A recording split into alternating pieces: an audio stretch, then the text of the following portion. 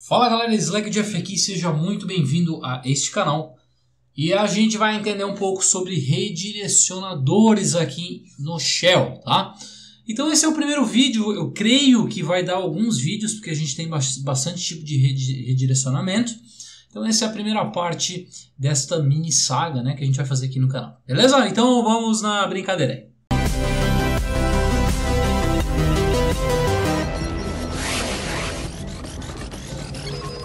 Então, o que devemos saber é que no Shell a gente tem três tipos de redirecionamentos. O zero significa stdin, o 1 um, stdout e o 2 stdir. Ou seja, entrada padrão, saída padrão e saída de erros padrão. Fechou? Vamos lá para o terminal para a gente ver como funciona esse esquema aí, né? Para a gente navegar tão, tão perdido, tá? Então vamos lá para o terminal, cadê live, cadê você? Ok, terminal aqui aceito e vamos começar a brincadeira, tá? Então como eu, eu havia dito para vocês, temos aqui o, o, zero, né, que significa stdin, ou seja, standard input, né? Então entrada padrão. Temos também o 1, stdout, né, standard output, que é a saída padrão, e temos o 2 aqui que é o stdir, tá? Que é o standard error, tá? Ou seja, saída padrão de erros, né? Ou saída de erros, tá? Então temos esses três tipos de caras aqui. Então esse é o básico do básico, tá, meus amigos? E como a gente faz para mexer com esses caras, Jefferson? Esses, esses caras aqui eles já, a gente já usa no dia a dia. Quando a gente executa, por exemplo, um ls aqui, a gente está enviando a saída do comando ls né, para o stdout, que é a saída padrão, standard output, tá? O descritor dele ali é o 1, tá? Então vamos supor que eu queira enviar a saída padrão, stdout ou standard output, para um arquivo de texto. Isso é permitido? Óbvio que sim, tá? A gente vai usar o arquivo descritor. Então, por exemplo, ls, qual é o número da tabela daqui? 1, né? Então, 1, e a gente pode usar um sinal de maior, um biquinho. Ou seja, eu estou redirecionando para algum lugar. Então, um sinalzinho de maior e vou redirecionar para onde? Para um arquivo de texto, por exemplo. Arquivo, ou botar aqui, ó, saída do ls, tá? Enter, olha só. Então, ele redirecionou. A saída do ls foi agora para esse arquivo de texto aqui que eu criei, tá? Então se eu pegar agora, dar um file aqui, ó, saída do ls, a gente vai ver que é um arquivinho de texto, né? Cat saída do ls. Olha lá, ó, tudo tá lá dentro. Perceba que o meu ls ele é colorido, ele usa a opção traço traço color ou menos menos color, tá? Então, se eu pegar dar um nano lá na saída do ls, a gente vai ver que tá tudo é, ele já está feito com os caracteres de escape aqui, ó, para colorir, tá? Então ele está todo estranho assim, né? E Jefferson, se eu quisesse usar a saída de erros aqui, lss, por exemplo, comando que não foi identificado, um ls arquive, arq, tá? Vai dar um erro. Como que eu faço para redirecionar? Na tabela a gente viu que é o número 2, né? O descritor 2. Então ls, por exemplo, é, arc, tá? Esse arquivo não existe, vai dar um erro, correto? Então eu vou botar um 2, sinal de maior e vou né, redirecionando para algum lugar. Arqui eu vou botar ls error, tá? Enter. Olha lá, ó, não saiu nada na tela. Perceba que se eu botar um outro arquivo, por exemplo, arquivo... Deixa eu ver um outro aqui. É, vou botar aqui o ponto .bashrc, tá? Eu, não, é uma coisa aqui. Ponto .bashrc. Olha lá, ó, é imprimiu na tela, né? Por quê? Porque foi enviado via stdout, estando o output, né? A saída padrão.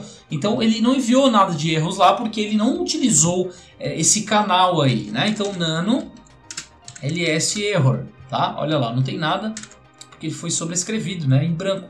Mas olha só, vamos voltar de volta aqui.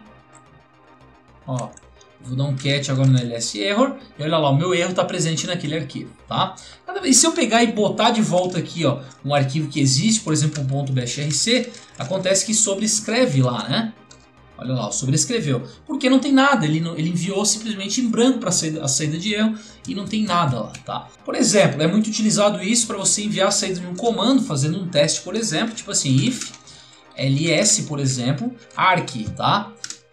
Ten, né? Então, echo existe, né? Se ele cair aqui, existe. Se não, vou botar aqui ponto vírgula else, não existe, tá? Ponto vírgula fi. Olha lá, não existe, né? Então vamos supor que eu só quero que imprima a mensagem. O que, que eu faço? Eu redireciono a, a saída de erros aqui do, do ls, por exemplo. Então 2, sinal de maior, para dev null, né? Que é um buraco negro aqui do Linux. Olha lá, não existe. Então, ou seja, não existe esse arquivo, ele foi redirecionado para dev null e não para um arquivo. Ele enviou para o buraco negro e lá se perde o negócio, né? Não existe mais, tá? E como eu uso o input Jefferson, que é a entrada, né? O standard input ou entrada padrão.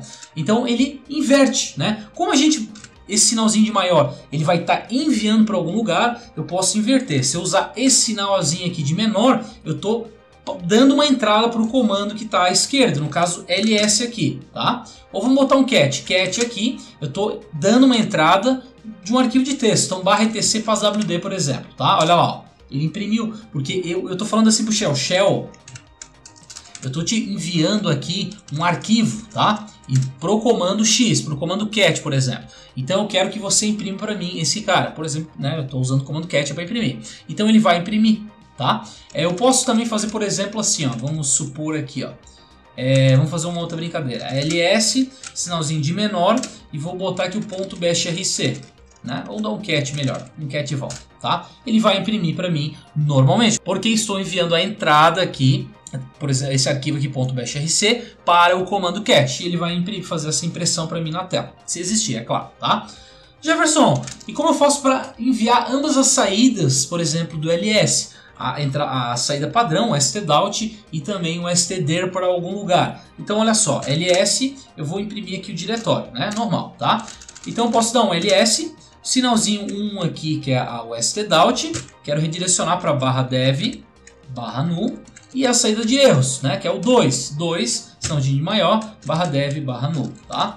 Ó, ele não vai fazer nada, né? Então ele vai imprimir já redirecionando a saída padrão stdout, standard output, para dev null e a saída de erros, se caso houver, né? Ó, ele vai redirecionar a saída de erros também aqui para o buraco negro do Linux, né? O barra dev barra null, tá?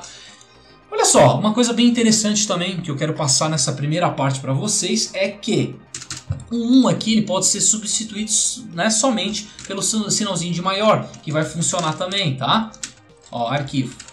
Olha lá, funciona, então eu não preciso usar o 1 aqui. Eu posso simplesmente já botar esse sinalzinho maior e o shell vai identificar que é para enviar o, o, o stdout, né? A saída padrão para um arquivo, né? Então nano arquivo. Olha lá, tá lá a saída, tá? Ele vai apagar, ele vai sobrescrever cada vez que eu fazer isso. Ele vai vai fazer basicamente isso aí, ele vai sobrescrever porque eu tô, eu tô enviando a saída dele, tá? Exemplo aqui, ó. Ó, agora não deu porque deu um erro, né? Não existe. Deixa eu botar um outro aqui. Ponto .bashrc, tá? Ó, cat arquivo. Olha lá. Tá lá dentro, né? A saída do ls está lá dentro, tá? Então você pode fazer isso aqui. É, o 1, o 0 aqui, então, std, né? Que a gente conhece assim em programação. O 1 aqui, stdout, né? E o 2, stdir. Beleza? Então, olha só, lembrando que aqui o stdout, posso usar o descritor, que é um 1 aqui no caso. Então eu poderia usar um assim, ou simplesmente pegar e usar somente o sinal de maior, né? Um sinal de maior ou sinalzinho de maior, o shell vai identificar que é, eu estou redirecionando a saída padrão stdout do comando para algum lugar. Fechou? É bem usado em programação em shell é, e é bem bacana isso aí. Fechou? Então até a próxima aula.